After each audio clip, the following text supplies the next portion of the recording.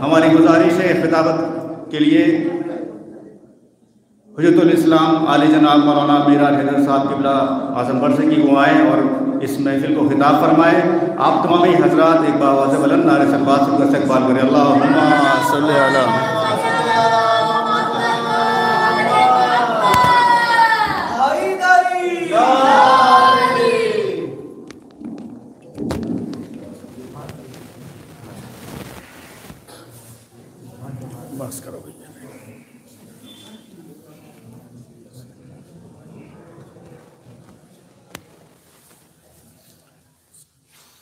ला हौल वला क़ुव्वत इल्ला बिल्लाह अल-अली अज़ीम। औज़ बिल्लाहि मिनश शैतानिर रजीम बिस्मिल्लाहिर रहमानिर रहीम।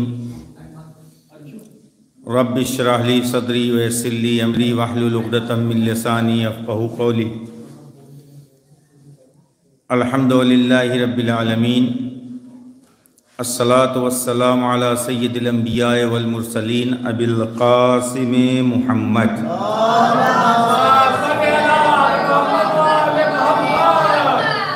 वाला तय्यबीन ताहरीन अलमासूमीन अलमुंतखबीन अलमुंतजबीन वलानतुल्लाहि अला आदाहिम मिनल आन इला क़ियाम यौमिद्दीन। अम्मा बाद, फ़क़द क़ाल मौलाना अलहसन लस्करी अलैहिस्सलात वस्सलाम, बेसल अब्दो अब्दुन यकून ज़ा वजहैन। वज़ा लिसानैन सलवात पढ़ी पर मोहम्मद वाले।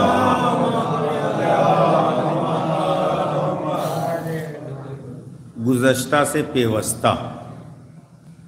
अगर याद हो तो पिछले साल इसी फ़िक्रे पर गुफ्तगु शुरू की थी।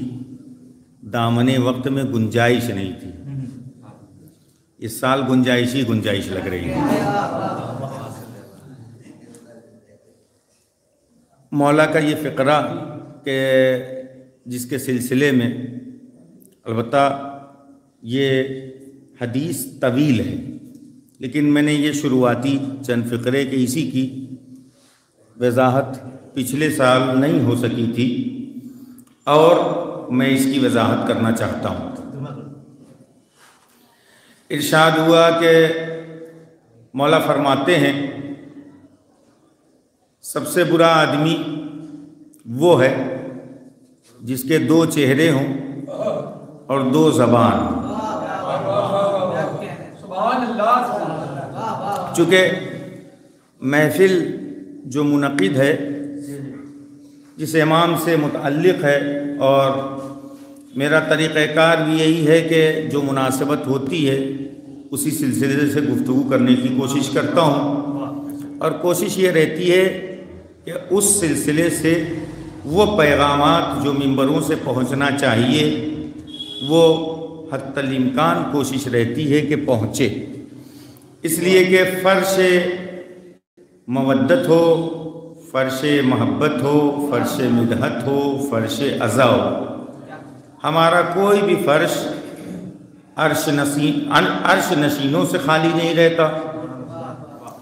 और दूसरी चीज़ कि हमारा कोई भी फ़र्श हो वो फ़र्श बग़ैर असलाह माशरा के वो फ़र्श नहीं कहलाता। दुनिया में लोग कालीनों पे बैठने का नहीं, चलने पर फ़ख्र करते हैं। दुनिया में लोग कालीनों पर बैठने का नहीं, चलने का ये फ़ख्र किया करते हैं कि आज मेरे लिए ये कारपेट बिछाया गया ये कालीन बिछाया गया, वो फर्श बिछाया गया। वो और होंगे जो फ़र्श के मुंतज़र रहते हैं कि कितना कीमती है। हम वो कौम हैं कि जहाँ बैठ जाते हैं, उस फर्श को कीमती बना देते हैं। हम इस फर्श को कीमती बना देते हैं। हमें फर्श के लिए न किसी कपड़े की ज़रूरत है, न किसी का कारपेट की ज़रूरत है। हम अगर ज़मीन पे भी बैठ जाते हैं तो वो ज़मीन भी हमारे लिए काबिल फ़ख्र हो जाया करती है। लिहाजा रवायात में से एक रवायत का मफहूम जल्दी से मैं बयान कर दूँ ताकि अपनी इस बात की दलील हो जाए। जब ऐसी बज़म जो अहल बैत के नाम पे ज़मीन पर सजती है और उस बज्म में आने वाले मलाइका मैं उस बात की दलील देना चाहता हूँ कि इस फर्श के हम मोहताज नहीं हैं, बल्कि जहाँ बैठ जाते हैं, उसे फर्श बना लेते हैं।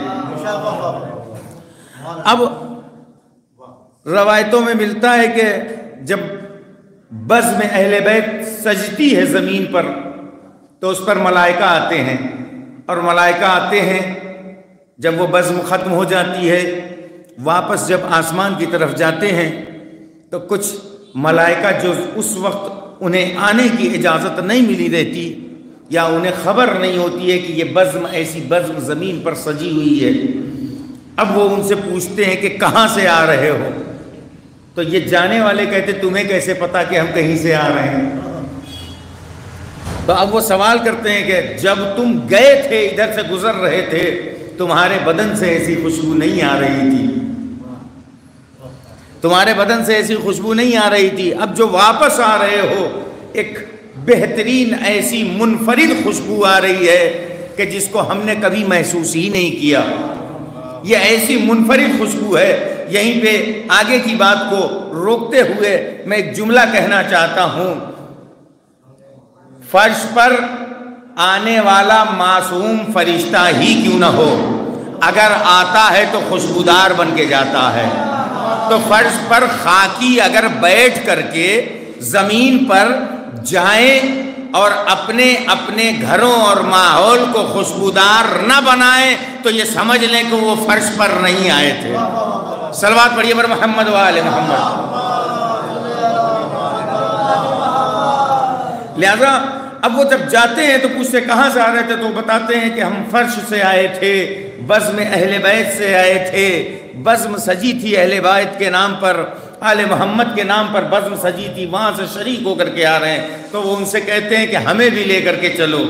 तोज्जो कीजिएगा। वो कहते हैं, हमें भी ले करके चलो। तो वह आवाज़ देते हैं, अब जाने का कोई फ़ायदा नहीं, मजलिस ख़त्म हो चुकी, महफिल ख़त्म हो चुकी, वो बज़म उठ चुकी, ख़त्म हो चुकी। तो कहते नहीं, हमें ले करके चलो। और वो बाकायदा आते हैं उस जगह पर, जहाँ अब कोई नहीं है, बज़म ख़त्म हो चुकी है। लेकिन वो आते हैं उस जगह पर, अपने परों को तबर्रुक के तौर पर मलते हैं। अपने आप को आगस्ता उस बज्म से करते हैं कि जो बज्म सजी थी और ख़त्म हो चुकी है तो इसका मतलब ये कि बज्म अहल बैत जहाँ सज जाती है, वो भी बाईस बरकत शिफा हो जाया करती है। सलवार पढ़िए पर मोहम्मद वाले मोहम्मद।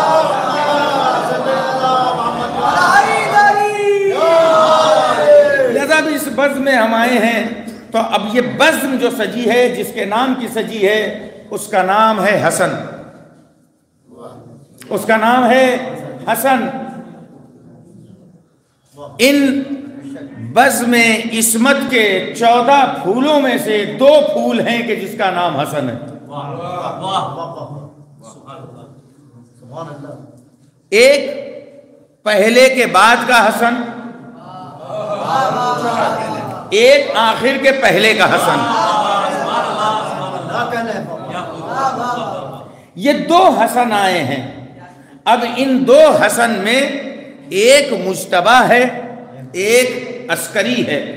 अब अस्करी के मानी जो बयान किए जाते हैं आमतौर से जो लगात में बयान किए गए हैं, उलमा ने बयान किए हैं, साहेबान इल्म ने बयान किया, अस्करी के मानी बयान किए लश्कर, सिपाही के, फौज के।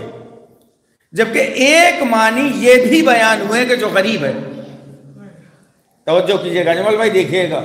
अस्करी के एक मानी ये भी है कि जो बहुत कम बयान किए जाते हैं। अस्करी उसे कहा जाता है जिसे देख करके फौज हरासा हो जाए। जिसे देख करके लश्कर डर जाए। तो इसका मतलब अस्करी इन्हें कहा गया है क्योंकि मौला को छावनी के दरमियान में रखा गया था, इसलिए उसे अस्करी कहा गया। और उस इलाके को अस्कर कहा जाता था, इसीलिए आज भी अस्करियन सामर्रा को कहा जाता है, जबकि सिर रोमन्ना, उसका असल नाम है। तो अब अस्करियन कहा जाता है। यानी एक मतलब ये हुआ कि एक अस्करी नहीं है वहाँ, दो दो अस्करी हैं। इस तरफ़ तवज्जो नहीं है। अस्करीन कहा जाता है, यानी सामर्रा में एक अस्करी नहीं है, दो दो अस्करी है। काजमैन में जाहिरन एक काजिम है लेकिन उसे काजिमैन कहा जाता है। यानी दो दो काजिम हैं। ये काजिमैन, ये अस्करीन या ये क्यों कहा जाता है? शायद ये उस तरफ़ याद दिलाया जाता है। अगर तुम देखना चाहो तो अगर तुम बाबसीरत हो जब चौदह के चौदह को सामने रखोगे तो कभी मोहम्मद नज़र आएँगे, कभी अली नज़र आएँगे। इसी तरीके से अगर तुम काजमैन में आओगे तो वहाँ दो दो काजिम नज़र आएँगे, दो दो अस्करी नज़र आएँगे। तो ये कब से कहा जाने लगा? बादशाह वक्त। मौला को अस्करी कब कहा जाने लगा? बादशाह वक्त ने ज़ाहिर सी बात, हमेशा हर वक्त का बादशाह और हाकिम इलाही मनसब रखने वालों को जलील करना चाहता है। तारीख में देख लीजिए, चाहे आज के ज़माने में वो हमारे छोटे छोटे ओलमा हो, ये तो छोटे बड़े हमने बनाए हैं, समझाने के लिए मैं कह रहा हूँ। छोटे मोटे ओलमा हो, छोटे में चले ये मस्जिद पेश नमाज़ ही समझ लीजिए। तो हत्तल इम्कान कोशिश आज के ज़माने में जिनके अंदर भी हाकिमियत का जज्बा पाया जाता है, साहेबान इल्म को जलील करने की कोशिश करते हैं। जिनके अंदर भी हाकिमियत का जज्बा पाया जाता है, साहेबान इल्म को चाहे जिस फन से अलबत् वो समाज के सामने फन लेकर के आते हैं, लेकिन वो फन फन में बदल जाता है। वो फन लेकर के आते हैं, लेकिन वो फन में तब्दील हो जाता है। तो अब जलील करने की कोशिश की गई। हमारे और आपके ग्यारहवें इमाम को। कहा उसकी प्लानिंग की गई।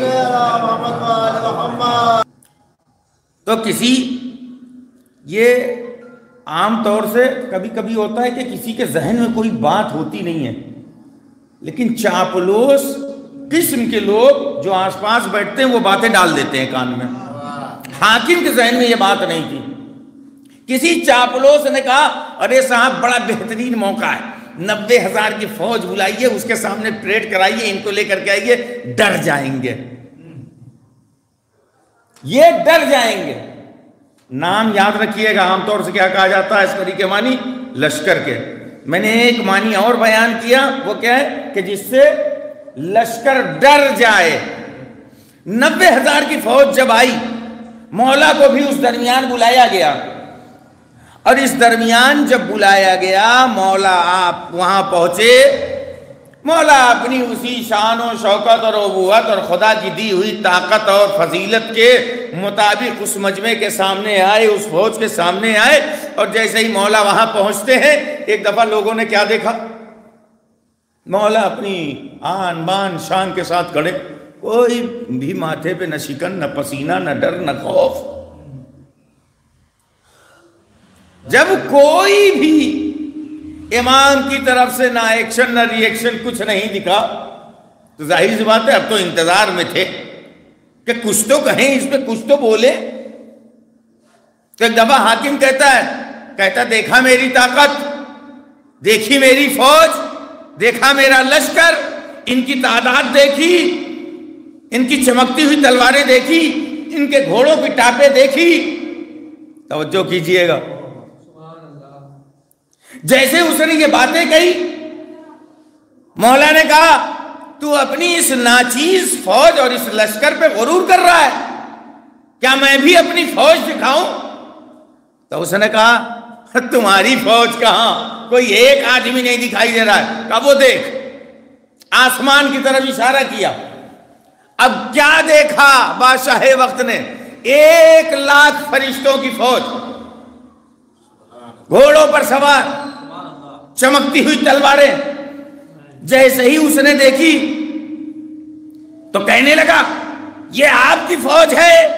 अब शायद किसी के जहन में, अब यहाँ से मैं रुक करके एक बात कहना चाहता हूँ, किसी के जहन में तस्वूर आए। एक लाख की फौज उनके पास थी। अगर जहन में ये आए कि ये कैसे एक लाख की फौज आई, जरा तारीख उठा करके देख लो, पैगंबर की मदद के लिए आई थी कि नहीं मलाइका की फौज? अरे भाई, कम से कम पाँच हज़ार की तादाद तो मिलती है कि पाँच हज़ार मलाइका ने आकर के पैगंबर की जंग में मदद की। तो इसका मतलब ये, मौला ये फौज क्यों दिखाना चाहते हैं? का मैं यही तो बताना चाहता हूँ अगर उस मोहम्मद के लिए भी फौज मदद के लिए आ सकती है, ये मोहम्मद भी चाहे तो इसकी भी मदद के लिए फौज आ सकती है। सलवात पढ़िए पर मोहम्मद और मौला ने जब उस वक्त अपना ये मुआजिजा दिखाया है, उस वक्त सामने नब्बे हज़ार की फौज पे एक रोब तारी हुआ। जब वो रोब तारी हुआ तब इमाम को कहा गया अस्करी। तब कहा गया अस्करी। तो ये मौला इमाम हसन अस्करी इस्लाम है कि इनकी ज़ात मुकदस के बड़े पहलू हैं। उन पहलुओं को छोड़ते हुए वही गुजशत साल जहाँ पे मैंने छोड़ा तो वहीं से गुफ्तु फिर मैं शुरू कर रहा हूँ। मौला फरमाते हैं, बहुत से आपके कलमात कसार भी हैं। उन्हीं में से एक फिक्रा मैं आपके सामने पेश कर रहा हूँ कि मौला फरमाते हैं कि सबसे बुरा शख्स वो है, लोगों में सबसे बुरा शख्स वो है। सलवात पढ़िए बर मोहम्मद शुक्रिया। लोगों में सबसे बुरा शख्स वो है कि जिसके दो चेहरे हों और दो जबान हों। दो चेहरे वाला देखा है? नौ चेहरे वाला तो देखे, हर साल जलता। ना, देखा होगा?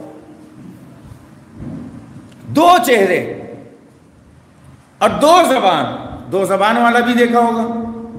नहीं देखा है? अम्मा, सांप के दो जबान होती कि नहीं?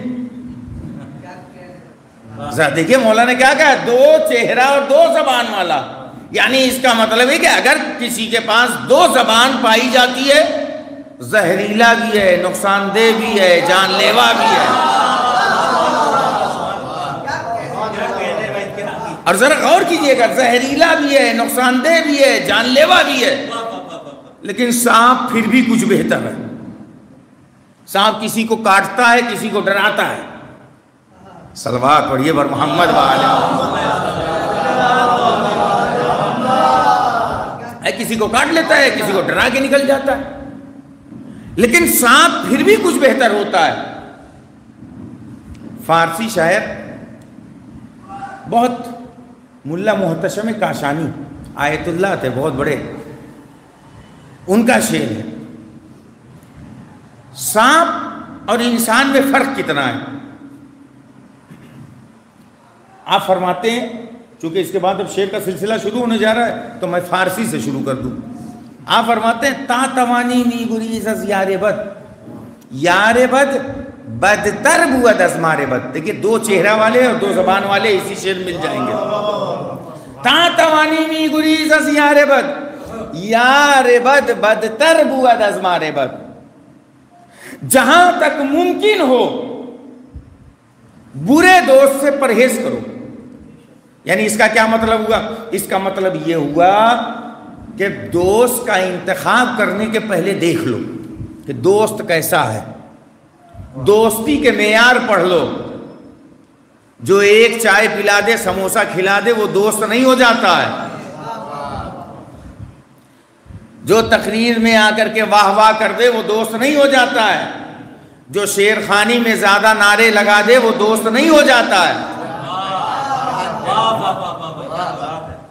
ये देखिए, ये सारे पहलू हैं, दोस्ती के मैार हमारे जमाने में, आज के जमाने में बदलते जा रहे हैं। दोस्ती मफादात पे मुनहसर होकर के रह गई है। अगर हमारे मफादात फ़ायदे वाबस्ता हैं तो दोस्ती है। और अगर मफादात को नुकसान पहुँच रहा है तो दुश्मनी है। ता तवानी नी गुरीज यारे बद, जहाँ तक मुमकिन हो बुरे दो दोस्त से परहेज करो। वजह भी बताया है, रीजन भी बताया इन्होंने क्यों? यार बद, बदतर बुअद अजमारे बद। कहा क्यों दो, बुरे दोस्त से दूरी बना करके रखो?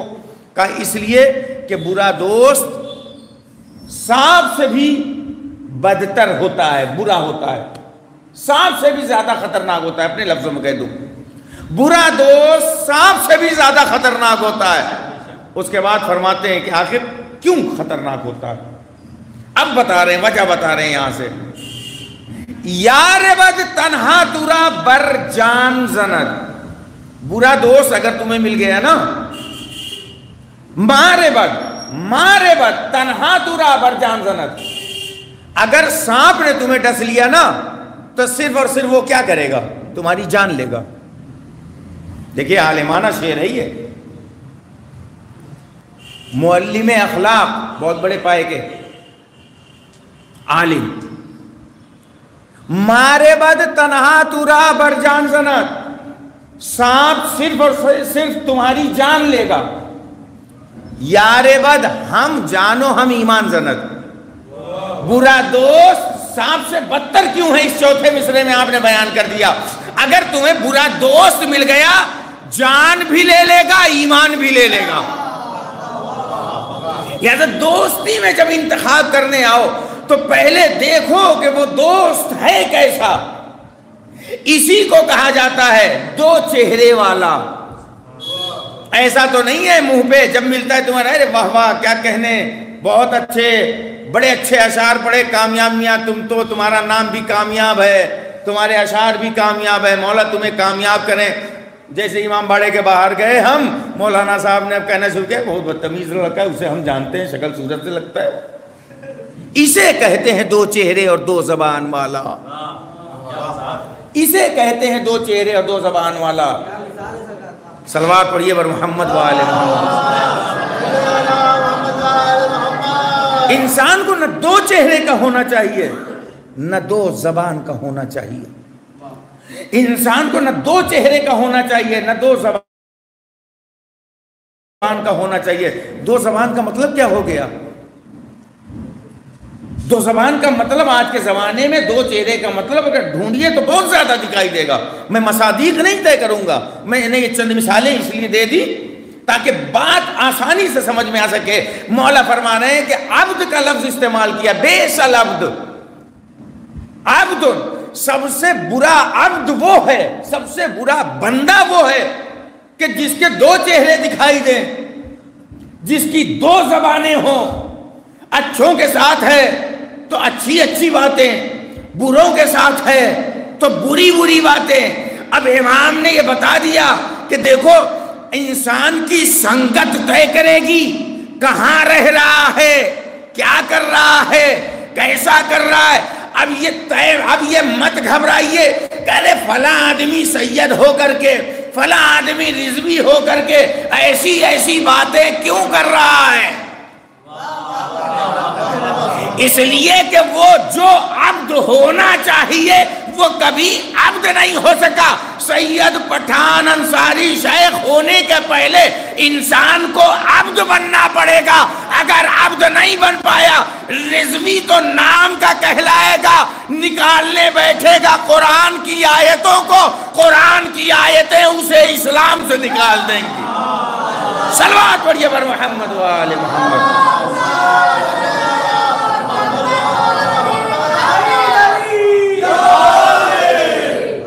दो तीन मिनट की और जहमत गुफ्तु ख़त्म कर रहा हूँ और शोरा आ रहे हैं आपके दरमियान।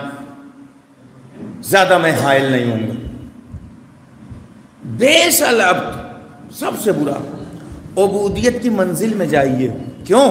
अब्द का लफ्ज मौला ने शायद इसलिए इस्तेमाल किया, मेरी नाकिस अक्ल ये कहती है, लेकिन जो भी है थोड़ी बहुत अक्ल, वो इस चीज़ को मानती है कि मौला ने क्यों कहा, अब्द का लफ्ज क्यों इस्तेमाल किया? कहा कि ताकि तुम्हें याद दिलाया जा सके, तुम अब्द ही पैदा किए गए हो। देखिए, ये बीच में एक जुमला चला गया, इसका ज़माना है, ऐसा ना हो कि काट पीट कर बयान कर दिया जाए, सादात की तोहिन करके चले गए। नहीं, सादात के कदमों की धूल हूँ मैं। लेकिन अभी मैं ऊँट पटांग यहाँ से बोलने लगूं छोटा सा बच्चा भी जो समझदार है मुमैज़ है वो भी कहेगा मौलाना को अपना विकार बचा के रखना चाहिए। अमा जब छोटी सी मौलवियत में विकार की बका जो है खुद आदमी के हाथ में होती है तो सियादत की भी अपनी बका करनी चाहिए और रखनी चाहिए। कि मनसूब किस जात से हैं? आप रहिए सैयद रहिए। ना आपके सैयद लिखने से ना आपके सैयद काटने से आपका शजरा कोई नहीं बदल सकता। अगर जहन्नम की आग हराम आप पर है कोई ज़बरदस्ती आपको नहीं भेज सकता जहन्नम में। हराम है तो हराम रहेगी। लेकिन अगर आपकी सियादत और सैयद और रिजवी जैदी नकवी हुसैनी हसनी जो कुछ भी लिखने से अगर सादात की तोहीन हो रही है तो ऐसे लोग अपने आप को सैयद और रिजवी, नकवी, ये सब लिखना छोड़ दें। रहे सैयद, उन्हें खारिज नहीं किया जा रहा है। अगर सियादत पे फ़र्क आ रहा है, और सादात कराम की तोहन, सादात कराम से ज़्यादा तोहन, जिस जवात मुकदसा से वो हैं, अगर उनकी तोहन हो रही है तो लिखना छोड़ दें, वो बाकी रहेंगे। जो हैं, वही रहेंगे। हम लाख काला मामा पहनने सैयद नहीं होंगे। नहीं हो सकते। तो इंसान को इसीलिए कहा गया है।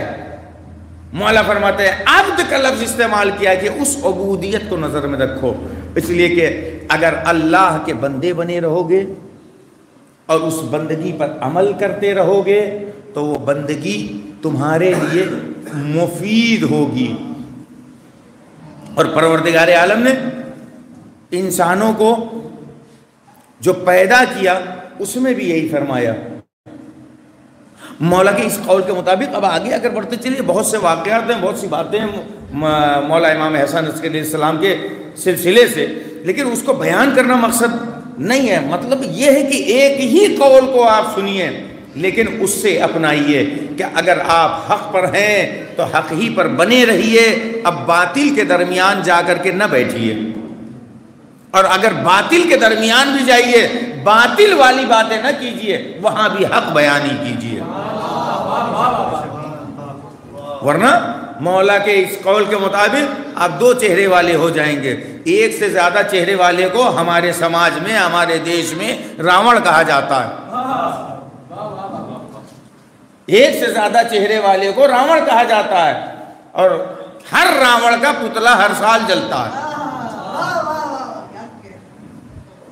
लिहाजा दो चेहरे वाला न बनिए मौला फरमाते दो चेहरे का मतलब यानी इंसान अपनी इंसानियत को बाकी इंसान ही बन करके रहे। शायद इशारा उस तरफ़ है, आए कुरानी की तरफ़। वो आय कुरानी क्या है? जिस कुरान की आयत में कहा जाता है, बाज इंसानों के लिए उला इकल अनाम बल हम अजल। बहुत से लोग इंसान होते हुए इंसान नहीं रह गए। वो जानवर हो गए। ये दूसरा चेहरा इंसान जो अपना लेता है, वो इंसानियत से गिर करके, वो हैवानियत में चला जाता है। और जानवरों ही में नहीं रह जाता है। कुरान आगे बढ़ के कहता है, बल हम असल बल्कि वो जानवरों से गया गुजरा हो चुका है। लिहाजा इस बज में, बारगाह खुदाबंदी में दुआ गो हूँ कि परवरदिगारा, हम सबको जैसा बंदा तू चाहता है, वैसा बना दे। खुदाया हम हक पर हैं, हमको हक परस्त बना। और हक पर बाकी रहने की तोफ़ी अता फरमा। हमें हक बोलने की और हक सुनने की तोफ़ी अता फरमा। खुदाया, जो बेरोज़गार है, उन्हें रोज़गार अता फरमा। जो साहिब रिस्क रोज़ी है, उनकी रिस्क रोज़ी में बरकत इनायत फरमा। खुदाया, इस जश्न की बरकत से हम सब के मरहूमिन की मफ़रत फरमा। बरेला जो लोग हज ज़्यारत के मुश्ताक हैं, वो इसबाब फराम फरमा जिससे हज ज़्यारत से मुशरफ हो सके। बरेला ज़माने के इमाम के जहूर में ताजील फरमा। हम सबको उनके आवान अनसार में शुमार फरमा। और तकबल मन्ना इन का तसमीदुआ बेरहमत के यार नारे सलाम